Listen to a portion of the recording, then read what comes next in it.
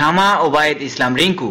বিএনপির প্রয়াত মহাসচিব কে এম ওবায়দুর রহমানের একমাত্র কন্যা। পিতার অনুসৃত পথেই হাঁটছেন তিনি। হয়ে উঠেছেন পুরোদস্ত রাজনীতিক। প্রতিনিধিত্ব করছেন তরুণ প্রজন্মের। তবে নিজেকে শুধু রাজনীতিতেই সীমাবদ্ধ রাখেননি সদালাপি এ নারী।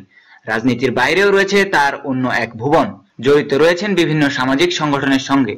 কাজ করছেন প্রতিবন্ধীদের নিয়েও। আমার সাংগঠনিক দায়িত্বের বাইরে যেখানেই আমাকে দায়িত্ব দেবেন বিএনপির চেয়ারপারসন, সেখানেই কাজ করব। রাজপথের আন্দোলনে মাঠে থাকার বিষয়ে তিনি বললেন, আন্দোলনকে আর জোরদার করার জন্য ত্যাগী নেতাদের নিয়ে নতুন এক কমিটি করা হয়েছে। আগামীতে গণতন্ত্র, পুনরুদ্ধার মানবাধিকার সহ বিভিন্ন ইস্যুতে অবশ্যই রাজপথে থাকব। টক শোর আলোচনায় নিয়মিত দেখা যায় তাকে। রাজনীতির এই গ্ল্যামার কন্যার জন্ম উনিশশো তিয়াত্তর সালের চোদ্দই মে। রাজধানীর স্বনামধন্য স্কুল স্কলাস্টিয়ায় প্রাথমিক শিক্ষা জীবন শুরু করেন। এরপর ভিকারুন্নেসা নুন স্কুল অ্যান্ড কলেজ মাধ্যমিক ও উচ্চ মাধ্যমিক শিক্ষা নেন। উচ্চশিক্ষার জন্য পাড়ি জমান যুক্তরাষ্ট্রের ক্যালিফোর্নিয়ায়। সেখানকার স্টেট ইউনিভার্সিটি থেকে কম্পিউটার সায়েন্সে গ্রাজুয়েশন ও এমবিএ ডিগ্রি নেন।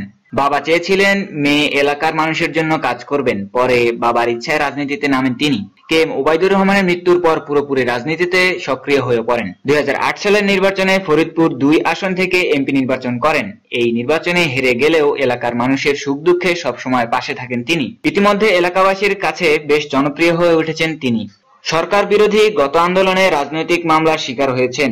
সব মতাদর্শের মানুষই তার বাবার কাছে আসতেন, কিন্তু বর্তমান রাজনৈতিক প্রেক্ষাপটে সেই সংস্কৃতিটা নেই। ব্যক্তি জীবনে বিয়ে বন্ধনে আবদ্ধ হয়েছেন রাজশাহী বিশ্ববিদ্যালয়ের সাবেক ভিসি প্রফেসর মাজহারুল ইসলামের ছেলে শোভন ইসলামের সঙ্গে। তার স্বামীও ব্যবসার পাশাপাশি সামাজিক উন্নয়নমূলক কর্মকাণ্ডে জড়িত।